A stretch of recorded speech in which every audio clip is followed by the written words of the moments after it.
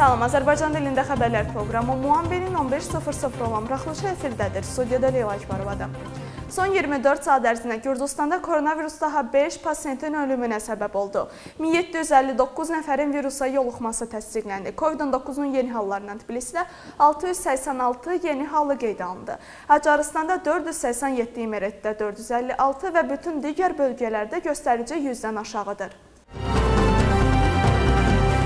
Koordinasiya Şurası Tbilisi, Kutaisi, Batumidə maska taxmağı tövsiyə edir. Bu haqda Natya Mezruşvili Koordinasiya Şurasının iclasından sonra bildirdi.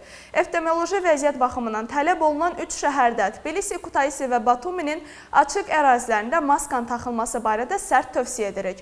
Xüsusilə məsafənin qorumağın mümkün olmadığı yerlərdə müvafiq xidmətlər, Əmək Müfəttişliyi və Daxili İşlər Nazirliyi tərəfindən nəzarət ediləcək deyə Mezruşvili qeyd etdi. İşğal olunmuş Abxaziyada 134 yeni koronavirusa yoluxma halı qeydə alındı. 123 nəfər Qudauta rayon xəstəxanasında müalicə olunur. Onlardan 27-sinin vəziyyəti ağırdır. 61 yaşlı virusa yoluxan qadın 21 oktyabrda Qudauta rayon xəstəxanasında dünyasını dəyişdi. İşğal olunmuş Abxaziya müəllikdə 33 nəfər dünyasını dəyişib və 3286 koronavirus halı qeydə alınıb.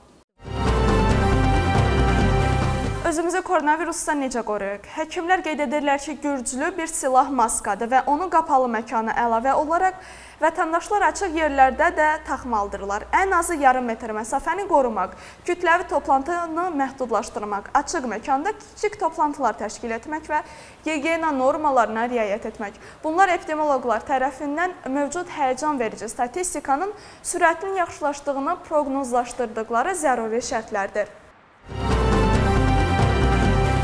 Gürcüstan Bankının Zuqdidi filialında 43 nəfəri girov götürən silahlı cinayətkar hal-hazırda da axtarılır. İzlərinin itdiyi son yer ehtimal ki, Çxoroc rayonundakı Gerçxi kəndinin meşəsidir. Məlumata görə cinayətkar avtomobildən düşərək gizlənib. Gözlərdən itməzdən əvvəl cinayətkar 3 girovla təxminən 6 saat boyunca yol gedirdi. İstintaqın günahkarın şəxsiyyətini müəyyən edib etmədiyi isə hal-hazırda naməlumdur. Yeni Ford və BMT avtobuslarının və mikroavtobuslarının ilk partiyası paytaxtda artıq gəldi. Avropa meydanında yeni ictimai nəqliyyat donanmasının təqdimatı keçirildi. Munisipal nəqliyyat donanmasının yenilənməsi layihəsi çərçivəsində Tbilisi Nəqliyyat Şirkəti Avropa Yenidən Qurma və İnkişaf Bankının dəstəyi ilə 226 ədəd Euro 6 standart 12 metrlik sıxılmış təbii qaz üzərində işləyən avtobuslar satın aldı. Onlardan bəziləri onsuz da paytaxtda idi. Qalanları 2021-ci ilin martınadək mərhələyə olaraq gətiriləcək. Gürcüstan Müdafiə Naziri Rəqli Qaribaşvili tərəfindən NATO Gürcüstan zəruri paketinin qəbul edilməsindən 5 il ötür.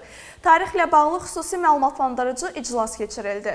Müdafiə Naziri tədbirdə nitqlə çıxış etdi. Rəqli Qaribaşvili təşəbbüslərin həyata keçirilməsindəki irəliləyişdən bəhs etdi və zəruri paketin uğurla həyata keçirilməsinə verdiyi töhfələrə və dəstəyə görə NATO üzvü və tərəfdaş ölkələrə təşəkkürünü bildirdi.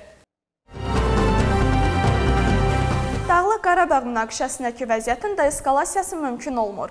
Ermənistan və Azərbaycan bir-birini hərbi əməliyyatlarda və raket hücumlarında itham edirlər. Bakının verdiyi məlumata görə oktyabrın 22-sinə keçən gecə Ermənistan-Azərbaycan ordusunun möhkəmləndirildiyi Ağdərə, Füzuli, Hadrut, Cəbrayıl və Qubadlı bölgələri istiqamətinə güclü atəş açıb. Eyni zamanda Azərbaycan Müdafiə Nazirliyi əməliyyatlar nəticəsində silahlı qüvvələrin bir neçə mühüm ərazini və strateji yüksəkliyi azad etdiyini bildirir. Tanınmamış Dağlıq Qarabağ Müdafiə Ordusu öz növbəsində dünən gecə münaqişə bölgəsindəki vəziyyətin stabil olaraq gərgin olduğunu söylədi. Onların sözlərinə görə artilleriya atəşi və atışlar bir neçə istiqamətdə davam edib. Onların verdiyi məlumata görə dünən Martun şəhərinə atəş açıldı. Tanınmamış Dağlıq Qarabağ Müdafiə Nazirliyi daha 26 əskərin öldüyünü bildirdi. Ermənistan və Azərbaycan Xarici İşlər Nazirlərinin bu gün ABŞ dövlət katibi Mike Pompeo qarşılayacaq. İlk danışıqlar Azərbaycanlı diplomatla aparılacaq. Pompeo daha sonra Ermənistan Xarici İşlər Naziri ilə görüşəcək. Eyni zamanda Ermənistan Baş naziri Nikol Paşinyan Dağlıq Qarabağ bölgəsinə sülh məramlarının gətirilməsinin Ermənistan üçün məqbul olduğunu söylədi. Paşinyan dediyi kimi, bu Rus sülh məramları ola bilər. Yerevanla Bakının bu məsələ ilə bağlı fikirləri üst-üstə düşmür. Xatırladaq ki, Moskva Dağlıq Qarabağ bölgəsinə sülh məramları yerləşdirmək fikri ilə çıxış etdi.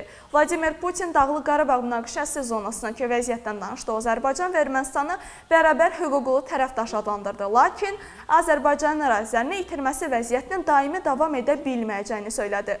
Rusiya prezidenti onları dialoqa çağırır və ABŞ-ın münaqişənin həllinə töhfə verəcəyini ümid edir. Yurdu Ordusu Partiyasının Samqori rayon majoritar namizədi seçkisi kampaniyası çərçivəsində Moskva prospektində əhali ilə görüş keçirdi. Sazar Subari köhnəlmiş liftlərin yeniləri ilə əvəzlənməsi, evlərin legallaşdırılması və uşaq bağçalarının tikilməsi ilə bağlı prioritet məsələlər barədə yerli sakinlərə məlumat verdi. Sazar Subari sənədəki biznesin inkişaf perspektivlərindən bəhs etdi.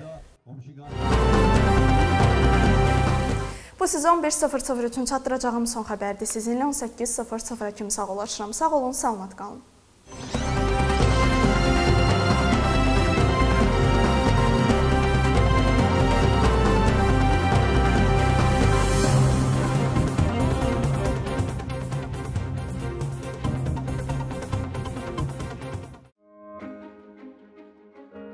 2020-ci ilin 31 oktyabr tarixinə keçiriləcək Gürcüstan parlament seçkiləri üçün MSK seçkilərin təşkilində iştirak edən tərəflərlə birlikdə stasionar tibbi müəssisələrdə karantində olan və özünü təcrid edən seçicilər üçün səsvermə qaydalarını hazırladı. Onlara yerlərindən asılı olaraq xüsusi qruplar xidmət göstərəcək. Müvafiq idarənin göstəricilər bazasında rəsmi olaraq qeydiyyatda olan, özünü təcrid edən seçicilər seçkilərdə iştirak məqsədi ilə daşınan seçki qutusu tələbi ilə 24-26 oktyabr tarixləri daxil olmaqla saat 10-dan 22:00-a qədər MSK-nın telefon məlumat mərkəzi 2510051-ə müraciət etməlidirlər. Səsvermə prosesi zamanı seçki administrasiyası tərəfindən sanitar gigiyenik qaydalara tam şəkildə əməl olunacaq. Seçiciləri və aidiyyatı olan tərəfləri pandemiya ilə bağlı bütün qaydalara riayət etməyə çağırırıq. Bizimlə əlaqə saxlayın. Ərizə formasını doldurun və seçkilərdə iştirak edin. Sənin seçimin qanundur. MSK